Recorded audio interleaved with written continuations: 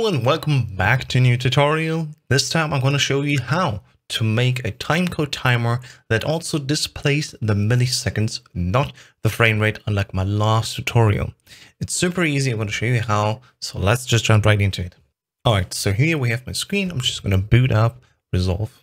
I'm currently working with the latest version of DaVinci Resolve 17. It says here Studio, but this functionality also works in the free version. Don't worry, you don't need to buy it.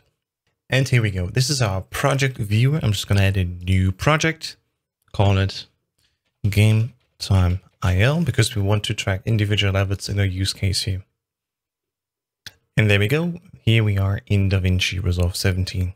I'm going to switch over here to this tab, just the edit tab.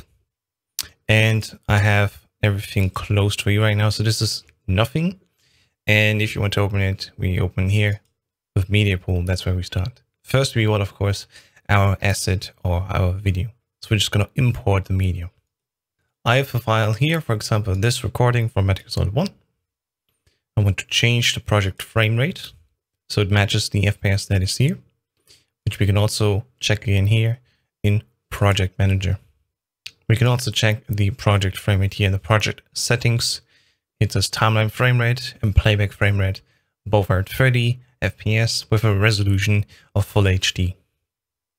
Nothing to change, so we just cancel here. Then we right click and create a new timeline using the selected clip. That will automatically transfer over all we have in the video here, such as format, full HD resolution, and the timeline frame rate of the equal 30 FPS. Not 25, 30 it is. And that's our video. I'm going to delete these two audio lanes here. These are Discord or microphone. We don't need that for this course. We'll remove just these empty lines here. Delete empty tracks. And now we can start taking our individual timer in here. I want two things basically. I want to add first a solid, which we can do here in our toolbox. Just go on the magnifying glass and look for solid color because we want to have a nice contrast of our timer that we have and the level in the background. So we just put the cursor here. You can see solid color is completely black. We change that by going here on the top right to the inspector where my webcam right now is. There we go. So in the top right is the inspector. You can just open that and then generator, we can change the color to something else. I don't know. How about this nice blue? In the settings here, we can change also the position. Make the zoom here smaller, and with the position, we can just move it over here. So what you want to do is, instead of having just text here, we can do right click and then set it to an expression. What we did beforehand was just time code, which automatically fills in a time code, and that's also very nice. You can see here, moving frame by frame. The very first on the right side digit is each frame, and on 30 it goes back to zero naturally then we have a new second. That way you can display your hour, minutes, seconds, and frames.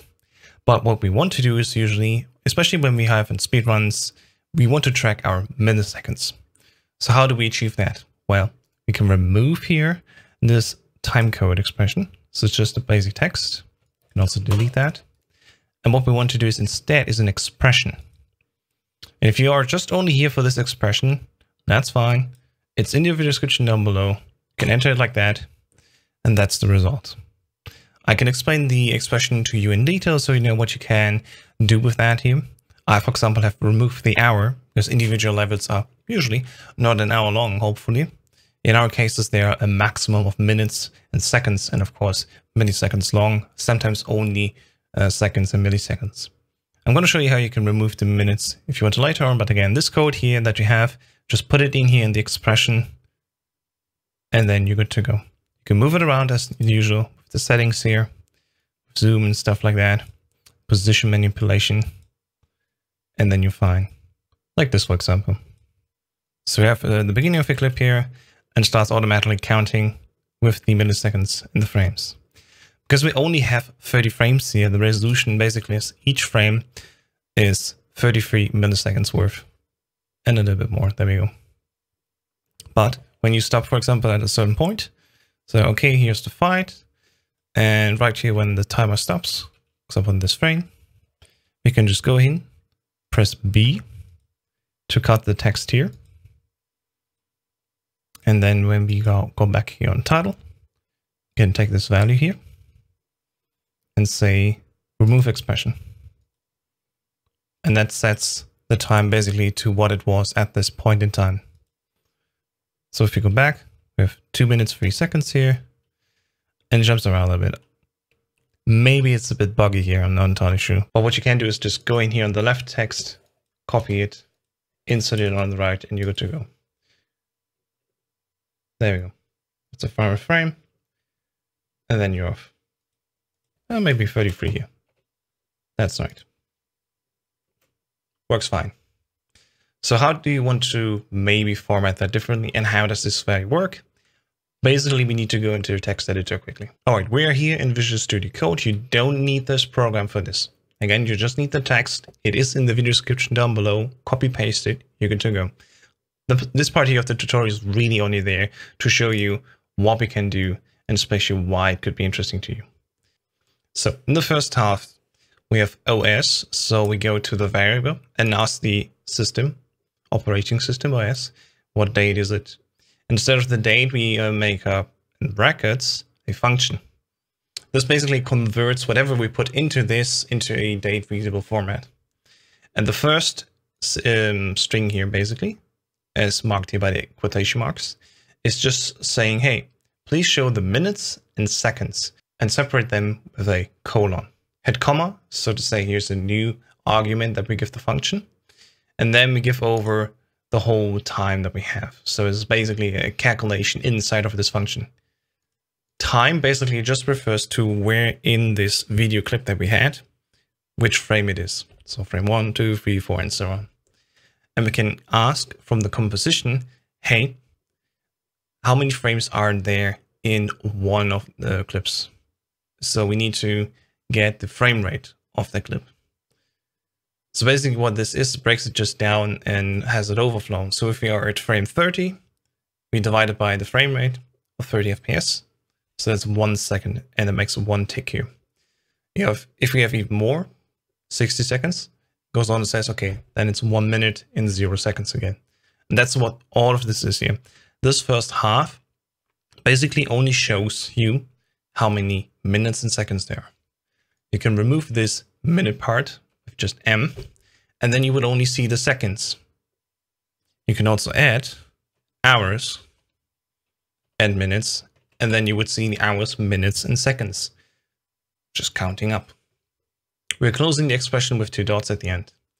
In the middle, we have basically just another string, which is just a static sign, how we want to display what comes after this. And for milliseconds, you usually measure time with just colons, and then when you get to the milliseconds, you put a dot in there. So that's why I have dot here. You can also make it any other sign. You could make it a question mark if you want to.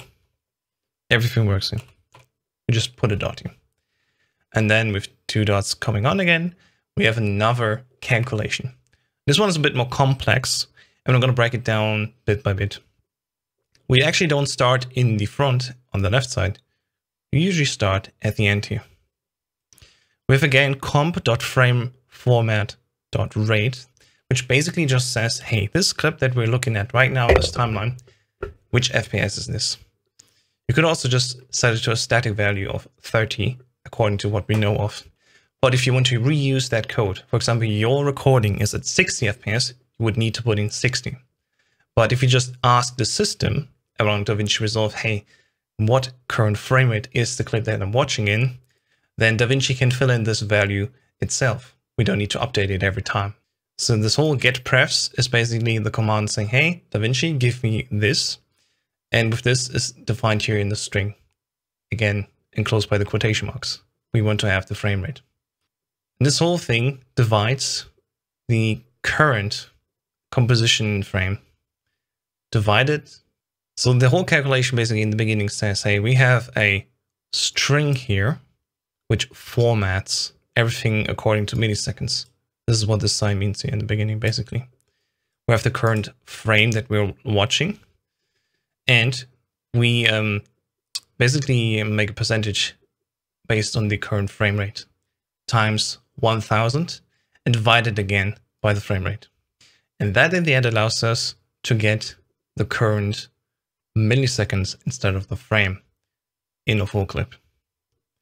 So this whole expression again is just there to define the first half before the milliseconds, the dot, as we see in row two, and then basically the time displayed in milliseconds.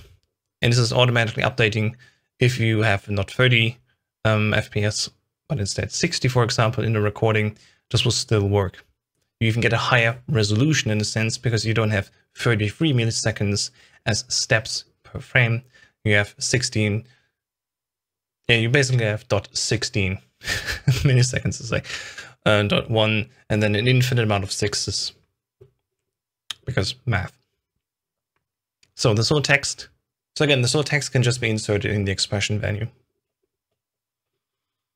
And as we can see here, well, this clip should actually not be that long because actually we start a little bit later. Then we see now, okay, the current timing actually of this level will start on the first frame when we get control, which is this one.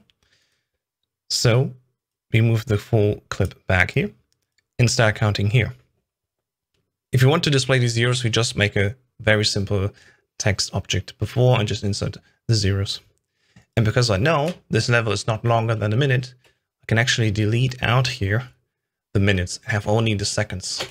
Hit enter, and then we will only see here the seconds and milliseconds. Fill it up again to the end. And then when we watch the clip, we actually start the timer here for this individual level. As soon as it starts, we need to wait slightly for the door. There. So it's just counting up basically the frames and displays it as milliseconds. And then you can see next to it the amount of seconds it takes. If we skip all the way to the end, there we go, we're almost done. Just waiting for the final wave here. And there we go, we have finished the level at roughly E. Sorry, it's here. Once this timer goes away. So we can just again cut this text object here, copy the last value, basically by hand, insert this here, and there we go. And now we can start in the beginning, see how it counts up. Then right at the end, it will automatically flip over and only display the final time. If we were to remove the expression. Small mistake on my side. There we go. And that's how you can show the milliseconds. Did a small mistake here again. Jesus Christ. So yeah, that's how you can uh, add a time code with milliseconds into your video. For example, to time a segment uh, in a video game, like for example in a speedrun. It's this very lengthy expression. Again, the text is just in the video description down below. Copy paste it, fill it in. And now you also know, because you've seen the full video, how you can manipulate that. Again, just go percentage and H, percentage M, if you want to add hours and minutes. Then you would see these values. But what you also need is, again, the separator, which we do by colon. There you go, then you have an hour. Weirdly enough, the hour is set to 1 instead of 0. I just circumvent that case by having basically only minutes used anyway. And there we go, that's it. Hope you learned something, hope you can use this gimmick. And then I'll see you in the next tutorial. Have a good day and see you soon.